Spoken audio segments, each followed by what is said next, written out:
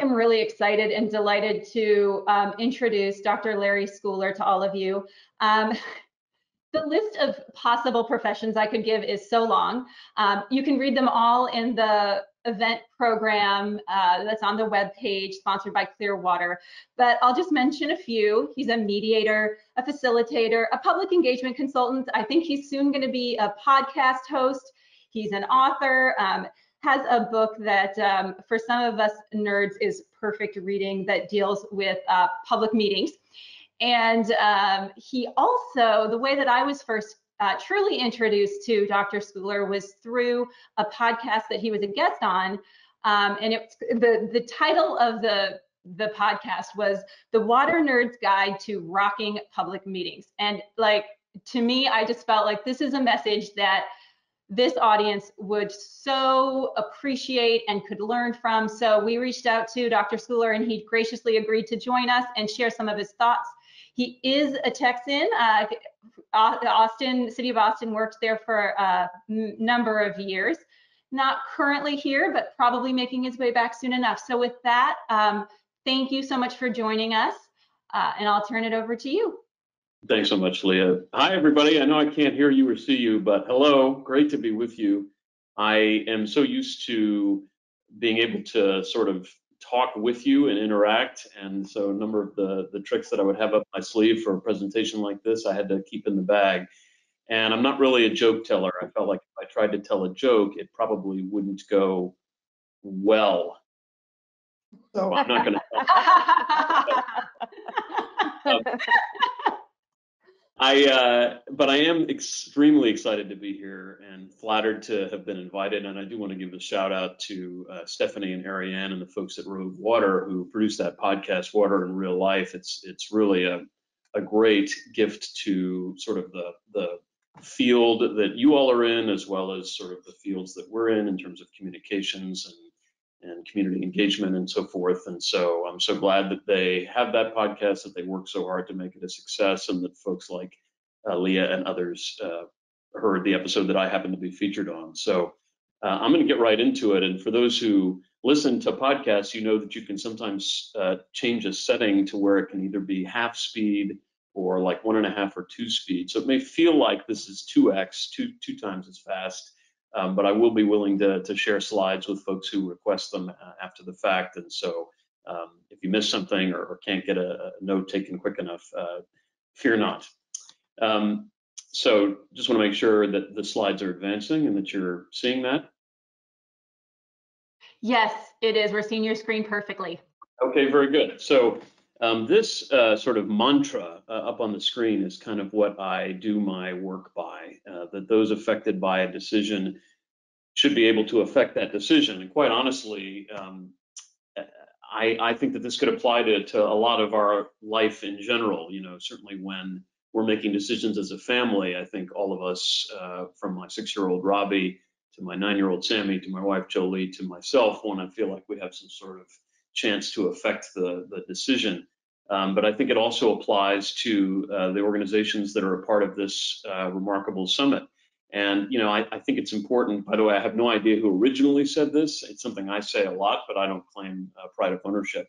But I want to make a few additional um, caveats on this. This applies even during a pandemic. I think um, certainly if you've read the news or, or watched the news anytime in the last, you know, day or several months, you've noticed that a lot of people want their voices heard, whether it be on how we manage the pandemic, how we open or don't open schools and the rest of society. And that's putting aside the enormously large conversation about how we police America, how we protect Americans, how we enforce the law in America.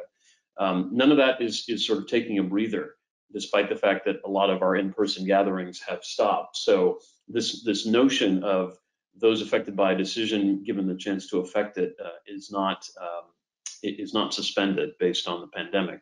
And it applies whether we are gathering people for a traditional public meeting or doing it remotely or virtually. It also i think applies even when it feels like there quote unquote isn't time. And what i mean by that is you know sometimes when we're embarking on some sort of public process or outreach we might have you know a lot of weeks or months to sort of take our time and do the process right And a lot of what's happening these days is happening very, very quickly. And again, I don't think that excuses us from the responsibility of needing to uh, involve those affected by our decisions. And it also, I think, is important to think about it in the context of decisions that you or your staff or your colleagues don't necessarily think is that big of a deal, because quite honestly, uh, that can be in the eyes of the beholder. And I think that sometimes we assume that folks won't care about a particular decision that a body like a groundwater conservation district is going to make until we uh, find out otherwise. I am an enormous fan of the radio, originally radio and television show Dragnet. I assume most folks are familiar with this remarkable uh, police procedural. Um, but I did want to give this caveat that the stories you're about to hear and read about are true. The names have been omitted to protect, well, the folks who have the names in the in the stories. So I just wanted to be able to share some uh, stories without uh, embarrassing anybody. Um, but to start with, there was an article written uh, in the Austin American Statesman a little while back that talked about how a uh, Texas municipality had been vying for a permit from a, a groundwater conservation district uh, to pump water annually from a well on private property to supply the city's future needs, and some residents have mounted legal challenges uh, over that very thing. Then you look at the farm uh, agriculture industry. This one particular underground water conservation district has, quote, caught a lot of flack from farmers. These people have never had water production limits before, and so they are, um, you know, totally caught flat-footed by the prospect of having to, you know, get along with others, and they feel like they want to have a say. Wall Street Journal did a story about a private property owner who got a permit uh, that came about as a result of a settlement with the groundwater conservation district, and a nearby landowner sued, calling that settlement a sham and saying they should have been allowed to weigh in on the other family's plans. So that just goes to show you that uh, this notion of who's affected by a decision and, and who should be able to affect it is, is very much in the eyes of the beholders. Then you look at hydrology. A hydrologist said that a particular pumping permit request was not sustainable and could eventually cause other wells to dry up. But the applicant in that case demanded a rehearing from the conservation district and said, if you don't give us that new hearing, this district has issued its last permit. They eventually protested another permit application, which can drown, pardon the expression, the conservation district in paperwork and legal fees. So there are real consequences to this. And of course, you know, sort of looking at a macro level, the Texas legislature has told these districts to um, come up with plans for the next 50 years. And that sort of has necessitated a certain level of collaboration and compromise. Um, and, and in, in, the eyes of one uh, person quoted in this article, uh, that's the only way to maintain irrigation agriculture. We're trying to put water conservation policies in the hands of the people.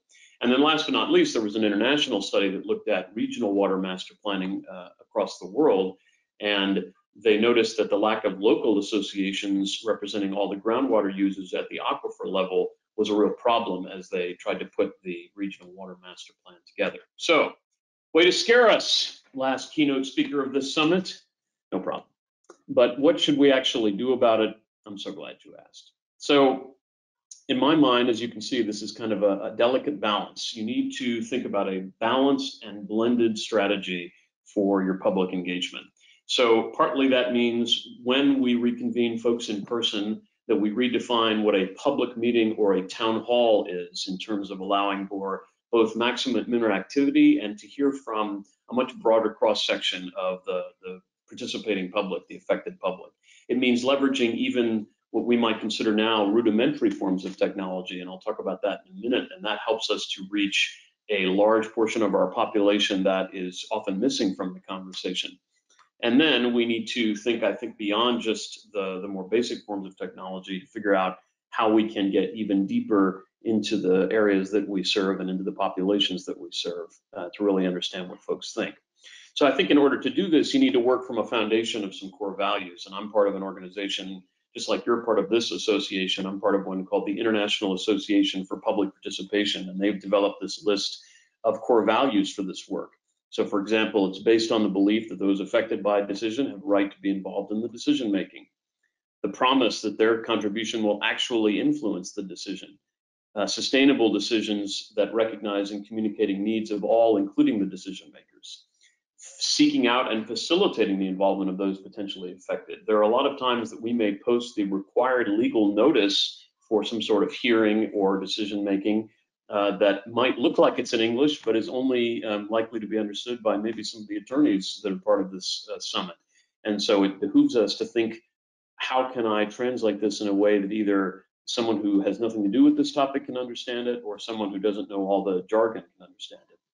It also sometimes involves seeking input from participants in designing how they participate. So your public may say, you know, we want you to come to our existing homeowners association meetings or to our Lions Club or please uh, email us. We'll give you input over email, but that should be a conversation. We also need to explain exactly the data that we're using to develop a decision and give people the proper amount of context. And then we need to explain to people in the closure of that feedback loop how their input actually affected the decision. So you told us this and we did that.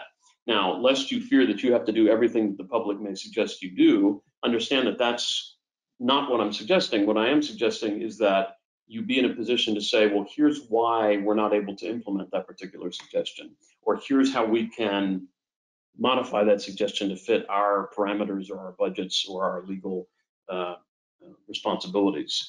There's also, I think, different levels of engagement that will vary depending on the, the type of decision. And so, you know, you could have folks on this left-hand side of the spectrum where you're just trying to provide information. So that might be in response to some major emergency or crisis, maybe a, a lack of water or some water quality issue that you just need to get addressed and you want to make sure people have robust information from you to manage that, all the way to the right-hand side of the spectrum where you may ultimately be putting something on a, on a ballot for the public to decide one way or the other.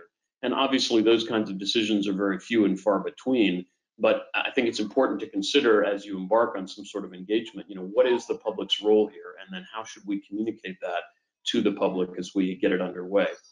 I, I just want to underscore the point that uh, engagement has become even more important in some respects as we make our way through this pandemic than it might have been before. This study from Hill and Knowlton um, surveyed about a thousand people, and as you can see, many of them felt that it should get more important uh, rather than less important uh, to make sure that they are asked for their input and given the chance uh, to uh, to weigh in. So there's all different kinds of reasons that you might engage. So you may have a legal obligation to do so. You also may want to make sure that whatever decisions you're making are truly a representative of the public interest. You may want to get new solutions to a, a thorny issue that you're facing.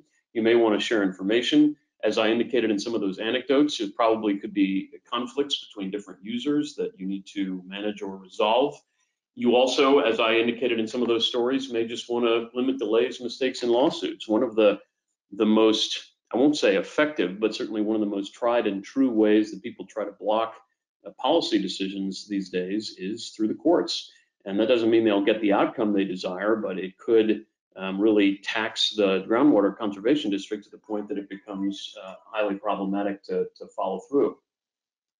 You may also want to sort of generate greater support for whatever it is that you are trying to accomplish. So oftentimes a groundwater district may be asking for certain sacrifices on the part of their uh, residents or their users or just other, you know, regulations. And I think having folks involved in the conversation as to what that should look like and how it should be carried out has been shown to increase the likelihood that they will be ultimately supportive. And then I think it also helps to build relationships. And one of the things that I think is, is easy to forget is that you all are the kind of regulatory body that people um, don't necessarily have a close relationship with until a critical moment. And I think the more that you can invest in um, proactively communicating with the, the population you serve, explaining who you are, what you do, why you're there, what some of the issues are that you're trying to address, what you might be asking them about in the future, uh, the more trust you're going to build and the more likely it is they'll want to participate in good faith uh, when you ask for their uh, involvement. So I just want to go through a few of the ways that this uh, actually happens. And so traditionally, we've had some sort of either city council or legislature or board meeting, and we've given people three minutes at the microphone. Uh, that is pretty exclusionary because if you really think about it, uh, the number of people, the percentage of a population who's comfortable doing that, particularly if they know they're going to be on TV or the internet, or sort of documented for all perpetuity, uh, or walking into a hostile crowd at that meeting, and who have the disposable time to research the topic write a speech and wait around for their turn, that's a really small percentage. And, and we've relied too heavily on that form of participation up to now. I've also included canvassing because I think There are cases where we've seen folks actually go door to door or be set up, um, you know, in some place physically to sort of catch people as they're going by somewhere to get some input. We're starting to see though a, a big evolution in this. So rather than public hearings, we're having workshops where we might divide people into small groups and have them tackle a, a topic in a small group discussion. We're seeing agencies pop up in hotspots around the community where they expect foot traffic to catch people as they go by. We're also forming uh, stakeholder groups or task forces that are representative of all the different interests on a particular topic in order to get some consensus uh, that then a, a, board can implement. And then we've been working on something called Conversation Corps, where we've actually trained community members to help facilitate some of this dialogue for us because we, we often don't have the staff. But if we can get community members to go out and collect some public input, uh, that can be really useful to us. And then, of course, we get into remote and virtual. And, and one thing you'll hear me talk about um, a lot is that virtual and online are not one and the same. Uh, we need to appreciate not only that there's still a healthy percentage of the population without internet access at all, but even those who do have internet access don't necessarily have the kind of access that would allow them to be on a call like this today. You know, it takes a certain amount of bandwidth, certain amount of speed, costs money. Uh, you need to make sure that your kids aren't, you know, hogging the internet for for school uh, at the same time as you're trying to engage. So um, you're going to hear me talk about a lot of different ways for uh, folks to engage that don't necessarily depend on uh, internet access. And here's just a little bit of an illustration of that. This is data data from the uh, Pew Charitable Trust that shows you that, you know, even if you look at U.S. adults as a whole, home broadband is still not present in more than one out of every four homes, and it starts to get um, uh, more absent, uh, less present as you go through certain demographic groups, especially lower educated and poorer folks as well as rural uh, homes. I also want to just mention on this slide that you'll see a, a pretty high uh, penetration in terms of smartphone internet access. And I think that's significant because the way someone accesses the internet on a smartphone is going to be different than if they're on a desktop. And we need to, to recognize that as we as we use it to our advantage. Now, I, I mentioned that that virtual doesn't mean online necessarily. And so I just want to, to highlight a couple of things. One is that nearly every government agency in the United States and even some elsewhere have access to some sort of government access TV station that by law they have to have and or that they're entitled to I should say and that should only be used for sort of governmental public purposes. And most of the time if you've ever tuned into these they're just putting on that official city council meeting and then they either go dark or they just replay it or they have some canned programming from somewhere that you know is is easily um, can easily be irrelevant to a lot of their audience. So there's an underutilized resource there. And then when it comes to text messaging, I think it's it's easy to forget that while you know young people may seem like the ones that, that are more likely to text, I mean these these stats are, are truly remarkable in terms of how often people use texting as their most significant way of communication, and in particular how often they're likely to open a text as compared to an email, which I found truly astonishing. 98% open texts versus 20% of email. So one of the things that we've been doing for our clients in this pandemic is we've been standing up a toll-free number that we staff and screen and then bridge over into the meeting that the, the body is having to allow people to comment on the items that are before that body. Now, this is something that we were asked to do in the light of the pandemic, but I'm hearing from some of our clients that they actually would like this to continue even afterwards. And, and, the reason for that is they're starting to hear from a lot of people that they had never heard from before. And in cities where this has become the norm, meaning pre-pandemic, uh, but even during pandemic, they notice that the audiences of folks who come and, and testify in person are very different demographically than the folks who are calling in. And so I think it's important to consider how to avail ourselves of input beyond our sort of super citizens or usual suspects and really get a broader cross section of, of viewpoints uh, through just a, a, fairly simple tool like uh, this one. Then um, we've been doing something called a view from you, which is a, a, telecast that we do on our government access TV channel in a particular market, where we have toll-free numbers in English and Spanish that people can either call into or would dial out to random uh, segments of the population and then we allow people to uh, text in as well and post on social media. And so what we have found is that compared to what a typical meeting might be, we're getting thousands of people to join what might seem like esoteric uh, topical uh, conversations because it's super convenient and you know they're they're excited to be asked um, even if they just got the call that evening uh, and it's a recorded message from the mayor they're still interested in giving you their opinion it's carefully facilitated it's carefully moderated but the point is we're getting much beyond the self-selecting few that are inclined to sort of show up for your typical public meetings there's other ways to um, affect real-time feedback through text messaging, and this screenshot is one of a, a, software called Poll Everywhere. I have no, you know, relationship with them other than just, um, you know, kind of the, uh, the my fondness of the tool. Um, but this really helps because the answers pop up in real time, and it doesn't depend on internet, and you don't have to be sitting physically close to where the polling is is emerging from. It's just uh, based in the in the cloud. So you don't need internet access, even though it relies on internet to display uh, the answers in real time, but it really can help both with multiple choice and with open-ended uh, questions. And then there's a way to have it be what we call asynchronous, meaning let people respond anytime. Uh, so there's a platform called Text Talk Act or Text Talk Engage, where you have people opt into a particular conversation uh, and they can join, uh, they get sort of a question, they respond to it, then they respond to a new question, and it's a way for people to give input uh, that don't have a lot of time um, and don't maybe have a ton to say, but are willing to, to share it anonymously via uh, text message.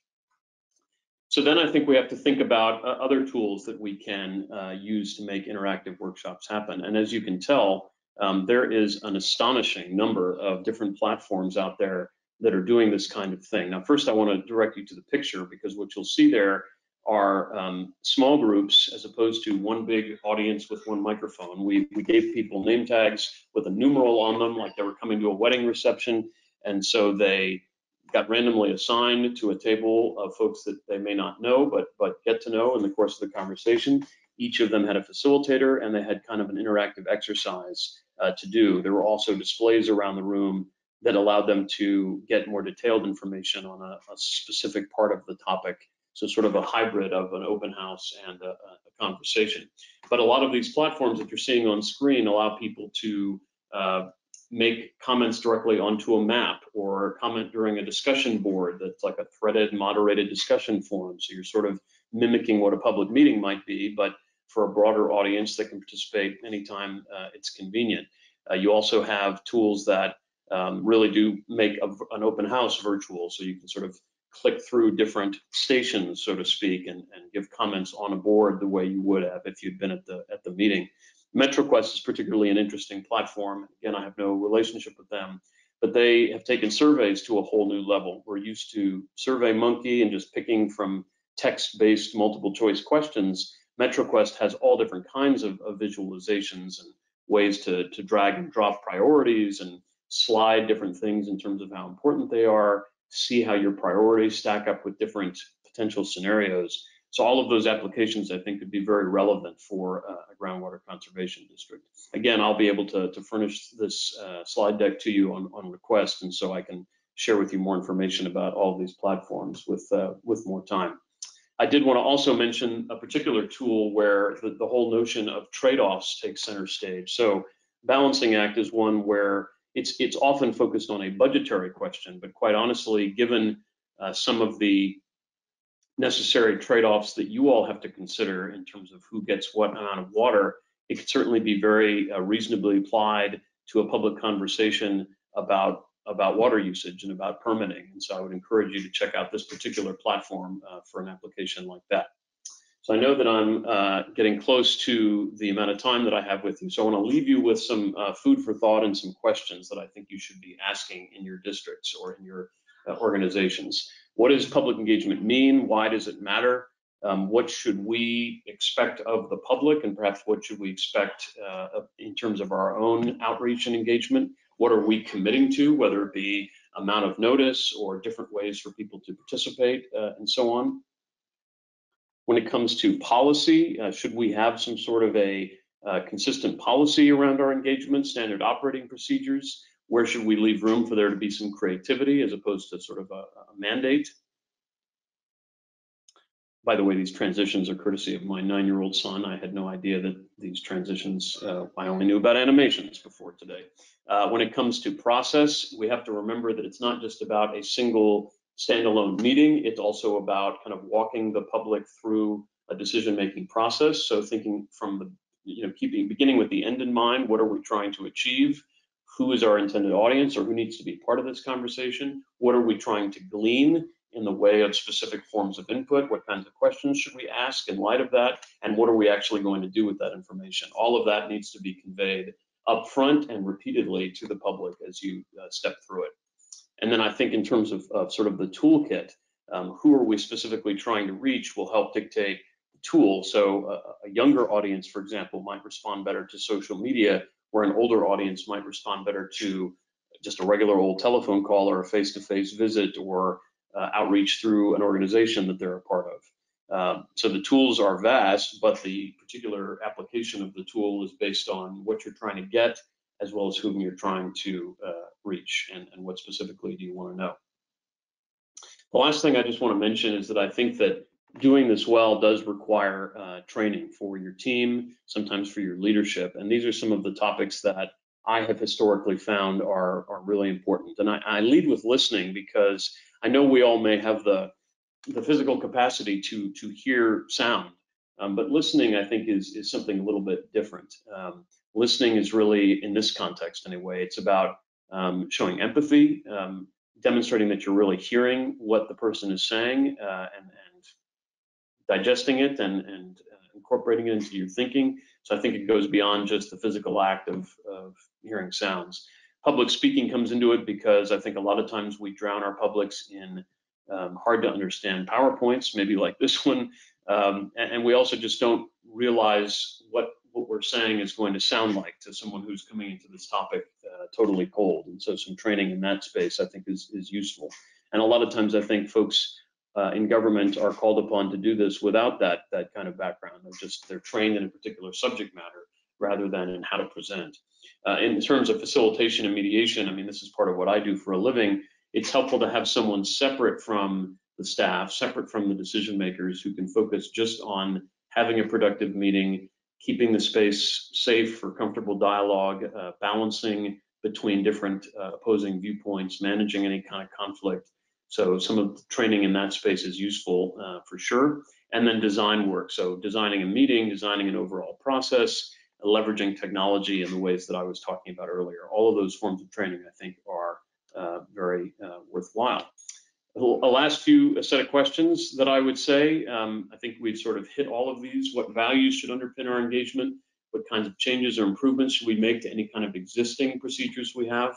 How should we collaborate as an organization? I know some of you are very small organizations, but how should we collaborate maybe with outside organizations like a local uh, college or university or just with other community organizations? what tools should we acquire or hone that we don't really have, and what training should we get? So those, in my mind, are some of the key questions for uh, for you to answer.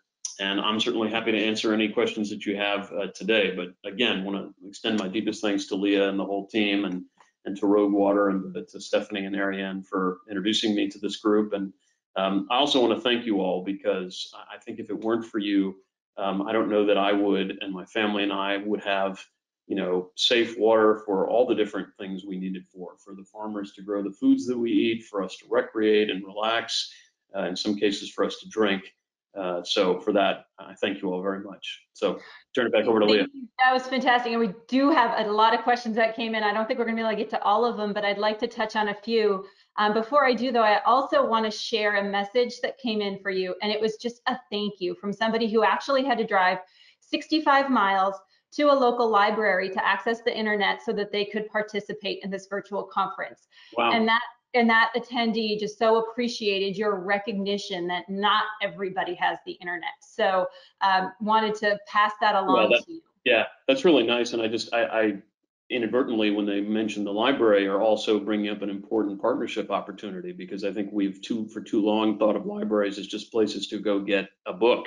And obviously um, we're still doing that. I know I'm doing it every day, but I think we really can call upon libraries to host events because uh, a lot of them have those spaces, but also to provide the resources that some folks will need either to get up to speed on a topic or, as, as this person said, to actually connect to the discussion. So Yeah, absolutely. So, so we did have somebody ask, you know, a lot of GCDs have small budgets. And so where would you, when you talk about a lot of these things that, you know, GCDs could do, where should a district with a, a very small budget prioritize? I mean, to me, it comes to training and, and volunteer recruitment. Um, I would, you know, sort of develop a kind of a, a buffet or a, a, menu of things you feel like would be helpful for your staff to get trained on. Um, and not necessarily um, you don't necessarily have to get those courses a la carte. I mean, there's there's certain trainers, frankly, I consider myself one of them who custom build you know a class or a, a couple of classes based on the particular needs of a client. And so um, I would I would focus on staff training, and then I would also um, work to establish some way for volunteers to assist you with this effort. And, and it, it takes some training of them. So either that training can be done by you all or it can be done by someone from the outside with some experience. But either way, if, if you're in a position to then disseminate a message and a set of questions for those folks to go out and, and collect info for you on, obviously that is pretty much as cost effective as, as you may get, I think, even including staff time. So we did that in, at the city of Austin out of sheer necessity, meaning if we didn't do it, we'd never get to a meaningful cross section of the population, I don't think. And so um, it was it was mission critical to us, and we're a fairly large organization with you know a million people uh, who live in the in the city limits. So for for smaller communities, I also think it's it's really worthwhile. Yeah. So you just actually kind of created a nice transition into another question that came in, and how um, you know, what would your advice be in terms of engaging underrepresented communities in groundwater? Um, groundwater is controlled by landowners. A lot of communities, however, that depend on groundwater aren't necessarily landowners, and those are some of the underrepresented communities, like Hispanic communities. Uh, what are your thoughts on that? Well, I think a lot of it depends on relationships that you build with organizations and entities who have contact with those populations. And so it ties back into the relationship build significance. You know, I, in fact, I'm on a project now where I know that if my team of consultants we're the ones doing the asking, we won't get much response. But if we tap, say, the Urban League or the YMCA or the Boys and Girls Club, or in particular the Latinx population, I think is is very tied into um, to their faith communities as well as to some social service organizations and some business organizations. Forgive me for stereotyping. I don't mean to overgeneralize there, but I, I think that what matters is who's doing the asking. And so there's going to be a, a, better response, I think, if you're able to hit some grass tops who can then help you both with conveying the message, but frankly, also deciding what that message should be. Because again, we're often sort of uh, immersed in the the jargon and the minutia and the kind of the, the, the stuff we deal with every day, and, and we're not necessarily putting ourselves in the minds of someone who's never thought about this before, who doesn't know that there's a GCD, who doesn't know the difference between groundwater and other kinds of water. Um, and so having someone to both be a gatekeeper to help us reach the population and sort of a an interpreter, not necessarily a language interpreter, although that matters, but also an interpreter of what we're trying to say and what makes it relevant to whatever that population uh, might be. But just to be clear, I mean, I'm not above, you know, asking a pastor to announce something from the pulpit, you know, or put it in a church bulletin or um, you know any any number of other associations to, to pass messages along because again you know even myself you know I know what I'm more likely to open uh, in the way of email and texts given how busy I am and, there's certain organizations that I'm I'm immediately going to open it so that that matters.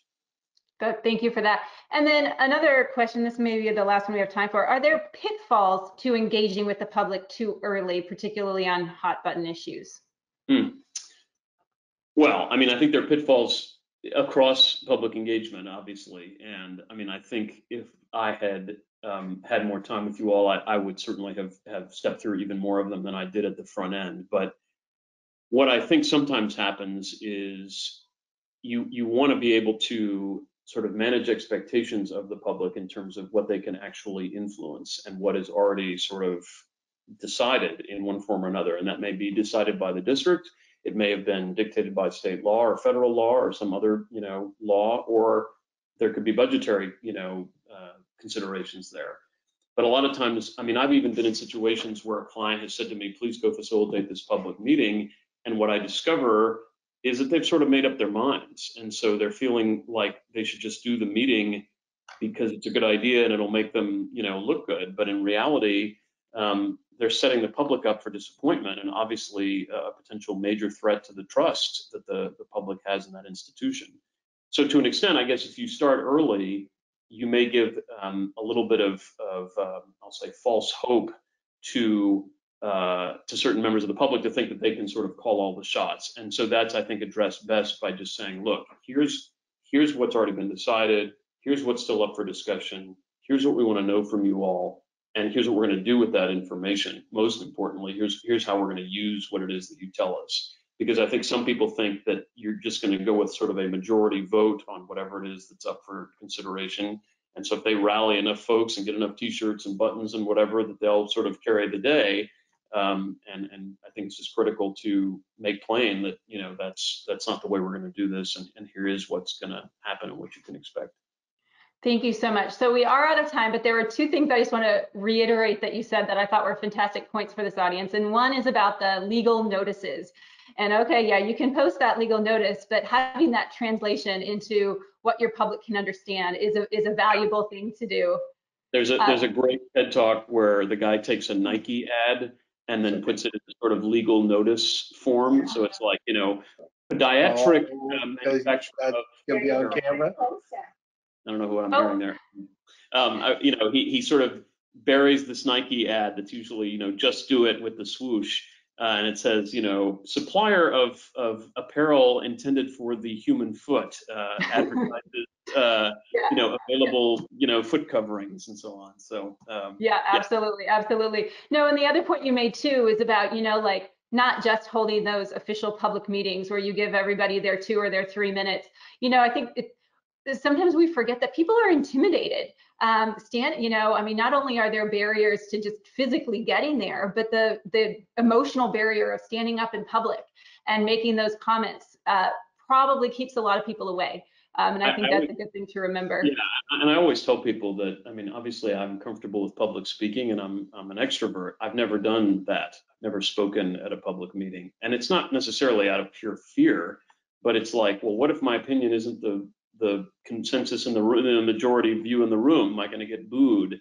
Um, am I going to remember everything I want to say in three minutes? Am I going to, not to mention, have the time to sit around and wait and arrange childcare and, you know, all that other stuff. So, Yep. yeah, I, I think we take that for granted and, uh, and we've got to keep it in mind. Thank you so much for joining us. It was really an honor. So interesting to hear from you. Uh, Dr. Larry Schooler, uh, wish we could have hosted you in person, but I'm glad that we were able to, to accommodate your participation virtually all the way from Florida. So Thank you. Yeah, so- you too. best to you. Thank you.